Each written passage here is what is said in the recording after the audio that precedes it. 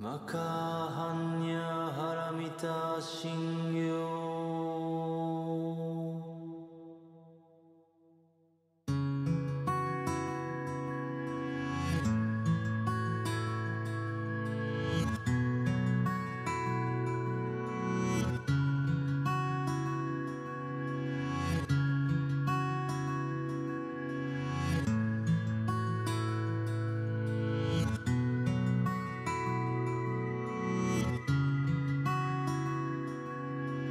さて時は遡ることは平安時代は中期の皇族。重明親王は大王天皇の第四王子。母は源の昇の娘。皇位継承者として浮上したが実現せず。赤塚先を終えて天略4年。式部教となり。弟にあたる須作天皇。村上天皇の治世を補佐した類まれな容疑最悪の持ち主であったことから「源氏物語」のモデルとの話も生まれ式部教の透明理法証書にちなんだ日記理法王記は10世紀初めの貴族社会を知る上での貴重な資料となっている。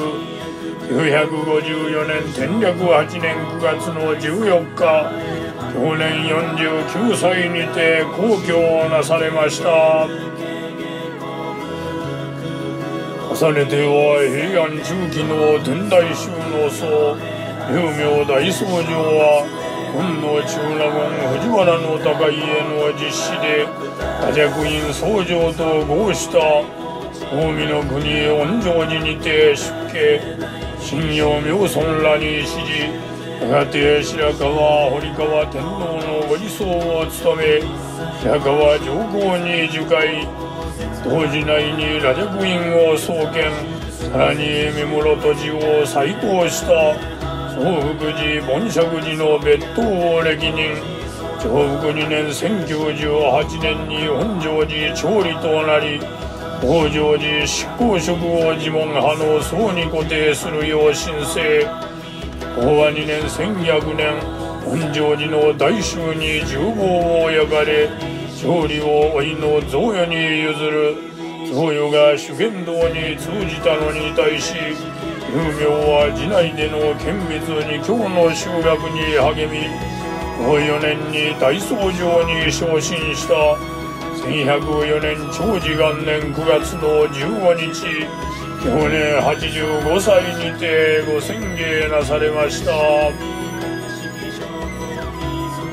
重ねては鎌倉時代の曹洞宗の前奏鉄通議会禅師は越前の国の生まれ13歳の時八尺寺の栄冠に指示して出家。比叡山に登り天台教学を収めたが1241年任時2年。時間とともに京都高尚寺の道元のもとに参じその当然を学んだ道元に従って永平寺へと移り天蔵関数などを歴任道元の持つはその皇帝古雲江上に参じその方を次の地に永平寺第三世となる19年正元元年宋国へと渡り大山や金山を歴訪。総林の菊術を学びまた伽藍を図録した。死に相当宗流章の基礎を築いた平山上金を輩出した。1309年延慶2年9月の14日。去年91歳にてご自着なされました。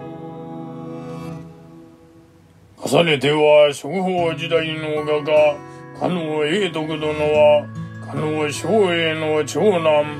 表名は源四郎の地に国信永徳は後4年より祖父元信の軍刀を受け天文を発揮。永禄9年1566年父と共に大徳寺受講院の襖絵を制作。翌年には近衛邸の障壁画を任されやがて織田信長の安土城や豊臣秀吉の大阪城自落台などの衝撃画を手掛けた。華麗でダイナミックな表現様式により天下一の画家と称されあの葉の黄金期をもたらした作品には楽中落外図屏風。共有相母図唐獅子図屏風などが描かれた。1590年天正18年9月の14日。去年48歳にてご入滅なされました。重ねては江戸幕府は第三代将軍徳川家光の乳母春日の局殿は泡を吹く父は明智光秀の重臣斎藤利光我は稲葉道明の娘中継稲葉重道の養女となりその養子稲葉正成に生かし朝桂四男を授かった無事に正成と離別して大奥に仕え1604年慶長9年家光の誕生に伴ってその乳母となる往年家光忠長兄弟の着床争いの際それは密かに駿府の大御所徳川家康に直訴し家光の生死決定に大きな役割を果たした多くの実権を握りこの者の掟を制定した凋落して後水の天皇に拝謁し春日の局の称号を賜った1643年寛永20年9月の14日同年64歳にてご入滅なされました。重ねては江戸時代は中高期の自学者田山法円殿は周防の国の出身。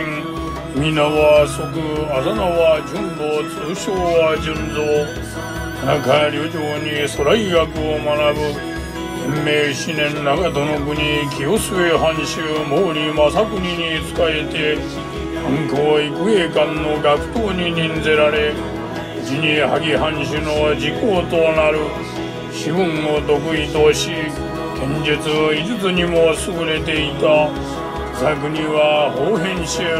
聖火団などを表した。1808年文化5年9月の14日去年69歳にてご入滅なされました。重ねては幕末期の尊上運動家上田運金殿は若狭の国小浜藩士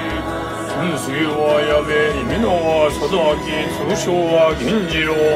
鉄合にコナンまた東雨などを合した祖父の実家梅田姓を名乗る安住山口関山に入門。京都防南県講師となり古文学者として著名な存在となる1852年嘉永5年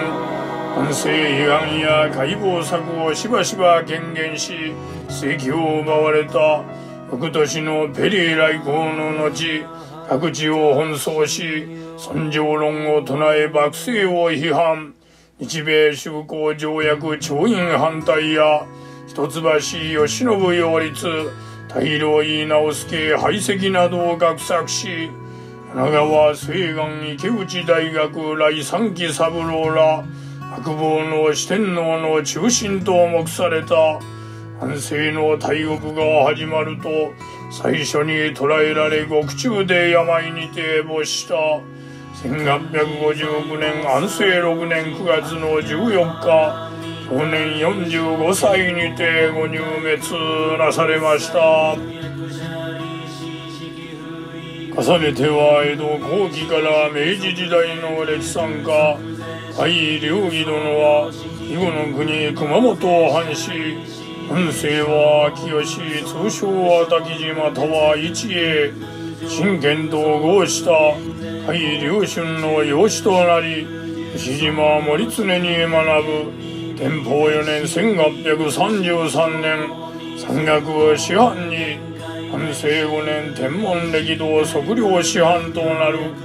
青函審議などの速記を制作天文方の渋川景助らと交わり新後も弟子の育成に努めた1898年明治31年9月の14日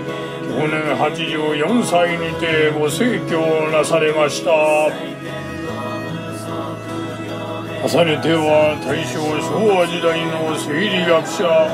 教育行政課の橋田邦彦殿は鳥取県の出身藤田敏彦の弟で旧姓は藤田。ヨーロッパに留学後ここ東京帝国大学の教授となり実験生理学を導入。第二次第三次近衛内閣と北条内閣の文章を務め先の大戦の教育行政を推進した。戦後間もなく戦犯に指名され東京裁判に出頭を求められた朝孤独自殺により落命した。1945年9月の14日去年64歳にてご逝去なされました。されては大正昭和期の彫刻家佐藤長山殿は福島県の生まれ本名は製造鉄号に玄々また阿運動などを合した山崎長雲に入門して木彫を学ぶ。1914年最高院展第1回展に呪詛などを出品法人に推挙された1922年日本美術院留学生として等ブルーデルに指示西洋彫刻の写実的性格を木彫の中に消化しながら広報な西風を示した。本年は院展を脱退し京都妙心寺内に道場を開いて競技に専念した。代表作にこの花咲や姫像竹の清丸は尊像天女像などが手掛けられた。1963年昭和38年9月の14日5年75歳にてご逝去なされました。最後に本日の本期日をお迎えになられました。